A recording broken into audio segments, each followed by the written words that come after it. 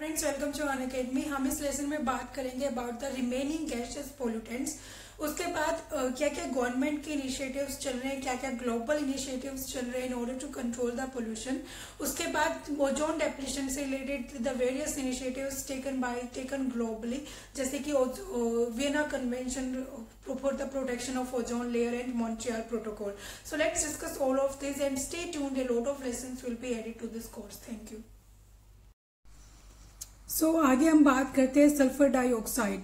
Sulphur dioxide की एक feature आपको पता है बहुत बार हमने पढ़ा है acid rain acid rain is caused by sulphur dioxide it is a toxic gas होती है इरिटेटिंग स्मेल से ये रिकॉग्नाइज होती है। It is release naturally by volcanic activities के through it is release abundantly available है in the atmosphere of planet Venus primarily produce की जाती है for sulphuric acid manufacture. For sulphuric acid के मैन्युफैक्चरिंग में ये प्राइमरीली प्रोड्यूस की जाती प्रोड्यूस होती है।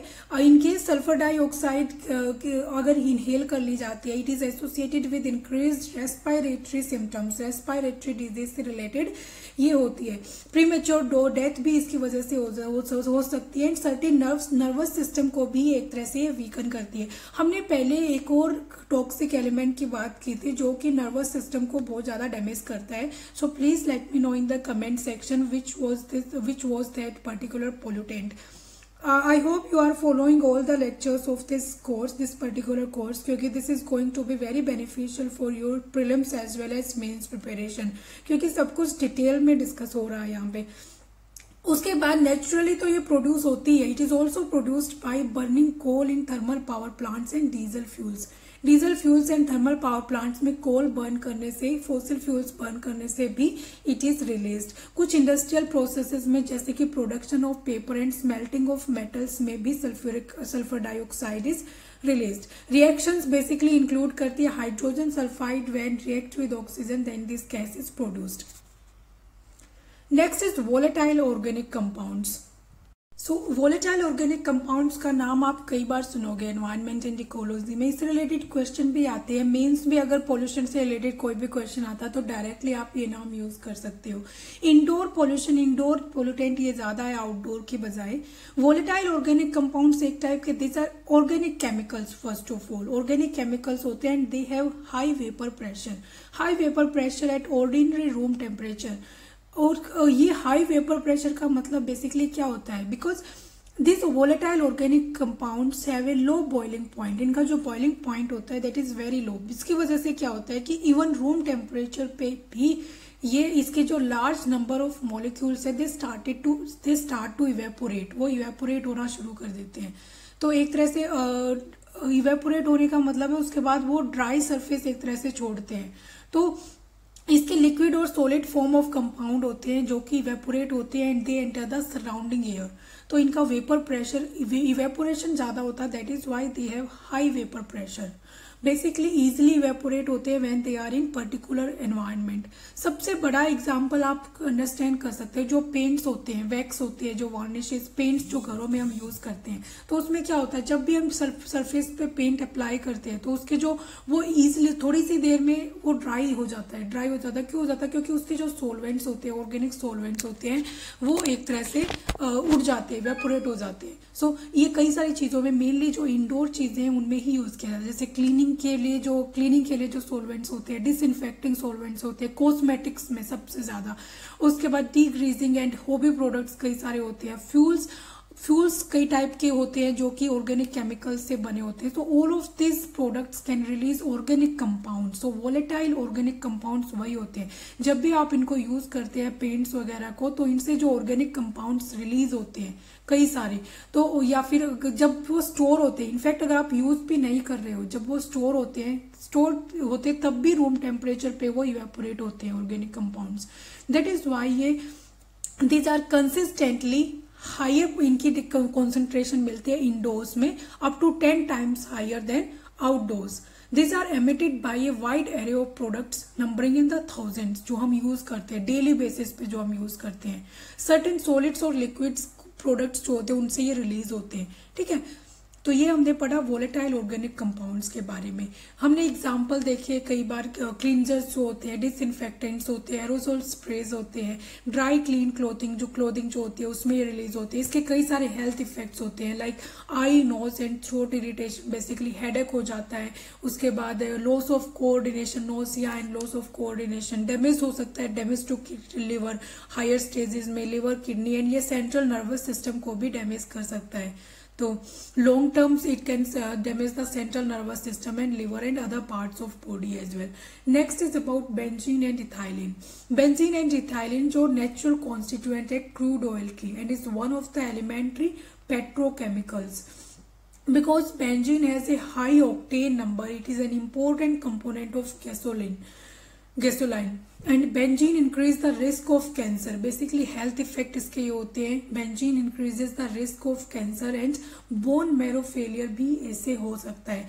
इथाइलिन वाइडली यूज़ किया जाता है केमिकल इंडस्ट्री में और major majorly much of this production goes towards polyethylene ठीक है? कई सारे प्लास्टिक कंटेनिंग पॉलीमर चेन्स जो होते हैं, वो उनमें एक तरह से इनको, इसको यूज़ किया जाता है. नेचुरल प्लांट हार्मोन का भी ये काम करता है जो कि एग्रीकल्चर में यूज़ किया जाता है order to ripen the ripening of forest sorry ripening of fruits के लिए ये यूज़ किया जाता है इथाइलिन को। इथाइलिन ऑक्साइड भी कार्सिनोजेनिक होते हैं कैंसर कोज कर सकते हैं। Next is tobacco smoke tobacco smoke highly harmful chemicals होते हैं कैंसर कोजिंग एजेंट्स होते हैं। हेल्थ इफेक्ट्स के burning eyes nose and throat irritation to cancer तक भी ये हायर स्टेजेस में जा सकता है। ये कई सारे चीज़ों से रिलीज़ होते हैं। आपको टोबैको स्मोक का आपको आपको पता होगा, बहुत ही जनरल सी चीज़ है। ये अस्थमा भी हो सकता है, अगर इसको ज़्यादा इनहेल कर लिया जाता है तो। Next is asbestos six naturally occurring silicate fibrous minerals होते हैं, जिनमें से एस्पेस्टस एक है। ठीक है, ये asbestos is set of six minerals को एक तरह से बोलते हैं। नेचुरली अक्रिंग मेनली होता है। इसके कई सारे हार्मफुल इफेक्ट्स होते हैं। लंग कैंसर हो सकता है। एक न्यूमो न्यूमोकोनियोसिस न्यूमोकोनियोसिस एक डिज़ीज़ है जिसको एस्बेस्टोसिस भी बोलते हैं। वो भी हो सकता है मिसोथेलोमी थेलियोमा भी हो सकता है। उसके बाद रेडोन ये गैस है that is emitted naturally by the soil soil के थ्रू ये रिलीज़ होती है एमिट होती है due to modern houses having poor ventilation it is confined inside the house and can cause lung cancers भी ये कोज कर सकती है। तो कुछ चीज़ें हमने जल्दी जल्दी में पढ़ा पोल्यूटेंट्स के बारे में, जो जो पोल्यूटेंट्स ज़्यादा ज़रूरी थे, वो हमने बहुत डिटेल में डिस्कस कर चुके हैं। ना what what are some of the steps to in order to prevent and control air pollution सबसे पहले इंडोर एयर पोल्यूशन को कंट्रोल करने के लिए ये कुछ स्टेप्स हैं जो लेने चाहिए। जनरल स्टेप्स हैं आपको, आप खुद भी लिख लिख सकते हो, ठीक है? जैसे पेंट्स कारपेट्स और फर्नीचर्स एक्स्ट्रा जो है, वो वोलेटाइल ऑर्गेनिक कंपाउंड्स देते हैं। तो उनका एक तरह से हमें यूज़ अच्छे से करना चाहिए। पुअर वेंटिलेशन की वजह से फोल्टी डिज़ाइन ऑफ़ बिल्डिंग्स की वजह से भी पोल्यूशन होता है। तो ये तो ये कुछ चीज़ें जिनकी वजह से इंडोर एयर पोल्यूशन होता है। प्रिवेंशन एंड कंट्रोल कैसे करना चाहिए? Use of wood and dung cakes should be replaced by cleaner fuel से रिप्लेस करना चाहिए लाइक बायोगैस केरोसिन एलपीजी और इलेक्ट्रिसिटी जैसे अभी उज्ज्वला स्कीम जो चली हुई है एलपीजी कनेक्शंस के लिए। Old stoves must be replaced with improve stoves तो इंडोर पॉल्यूशन के लिए हम वेंटिलेशन इम्प्रूव करना चाहिए। अच्छे पेंट्स वगैरह में को यूज़ करना चाहिए एक तरह से।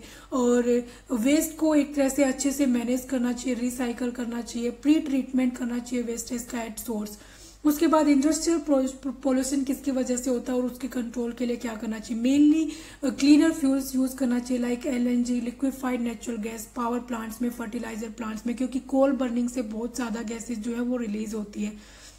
ऐसी डिवाइसेस इंस्टॉल करना चाहिए, जिसकी वजह से पोल्यूटेंट्स कम रिलीज़ होते हैं। इलेक्ट्रोस्टैटिक प्रेसिपिटेटर अनर्शियल कलेक्टर्स इनके बारे में हम पढ़ेंगे। स्क्रबर्स ये सब यूज़ करना चाहिए in order to control the pollution filters basically क्या करते हैं, जो पार्टिकुलेट मैटर होता है, जिसके बारे में हमने पढ़ा, जो रिलीज़ होता है गैस स्ट्रीम से, वो रिमूव कर देते हैं। फिल्टर्स की फिल्टर्स से वो रिमूव किया जा सकता है। ठीक है?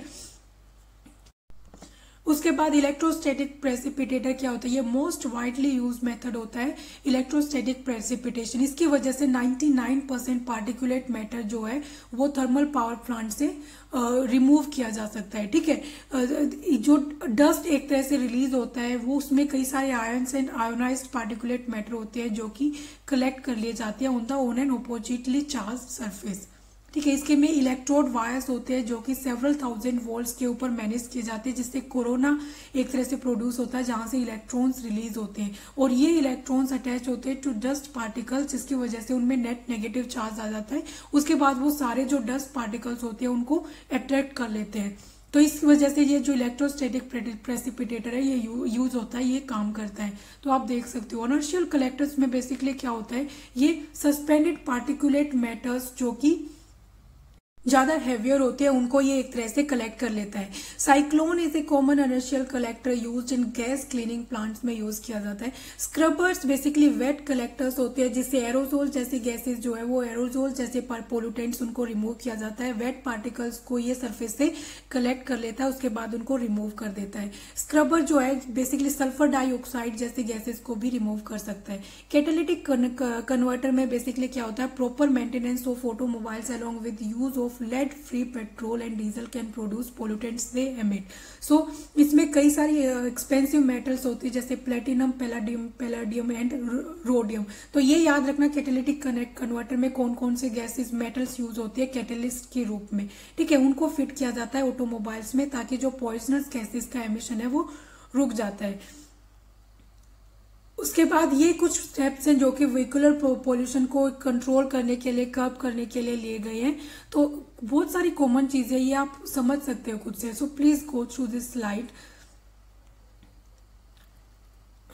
emission norms आपको पता होगा Bharat one Bharat two Bharat three ये सब नॉर्म्स जो हैं, ये फॉलो किए जा रहे हैं in order to control the pollution आगे जो कुछ गवर्नमेंट इनिशिएटिव है, जो हमारे लिए इंपॉर्टेंट है, वो मैं आपको डिटेल में बता देती हूँ। सबसे पहले national air quality monitoring programme CPCB central pollution control board ने ये प्रोग्राम चलाया है एयर क्वालिटी मॉनिटर करने के लिए ambient air quality monitoring known as national air quality monitoring programme in order to determine the status of air quality in order to ascertain the compliance of air national air quality standard से compliance करने के लिए क्या क्या एक तरह से किस लेवल तक कंप्लायंस हो रहा है, वो चीज़ देखने के लिए in order to identify non attainment cities ये एक तरह से रैंक करता है सिटीज़ को उनके पोल्यूशन लेवल के बेसिस पे in order to understand the natural process of cleaning in the atmosphere ठीक है? तो ये ताकि प्रिवेंटिव मेजर्स उसके लिए लिए जा सके। इसमें बेसिकली ट्वेल्व पोल्यूटेंट्स हैं।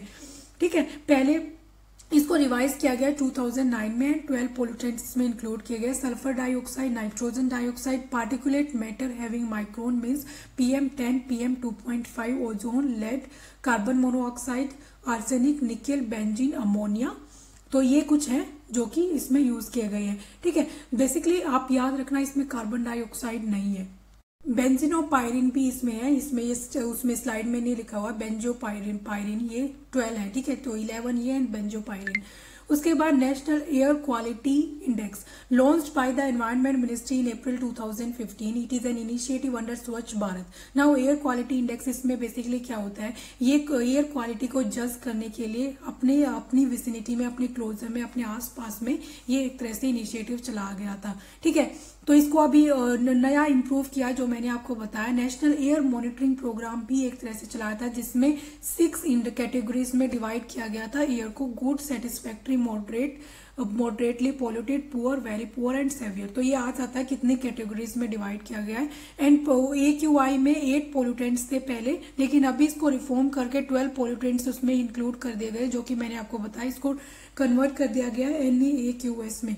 दूसरे उस टाइम इसमें पोल्यूटेंट्स थे P N P M ten P M two point five nitrogen dioxide SO two CO O three N S three and PB lead next alternative कुछ कंजेस्टन चार्जिंग एक तरह से in private vehicles पे लगाए जा रहे हैं और पीछे जो ये वो चलाया था हमने ओ डी वन वाला जो फॉर्मूला चलाया था, उसके बाद टेन इयर्स तक जो टेन इयर्स से पुराने जो व्हीकल्स है, उनको एक तरह से बैन किया गया था odd even formula making city roads even more friendly to bicycle users and promoting roof top solar power as an alternative to coal power so ये कुछ ऑल्टरनेटिव है जो चले हुए हैं।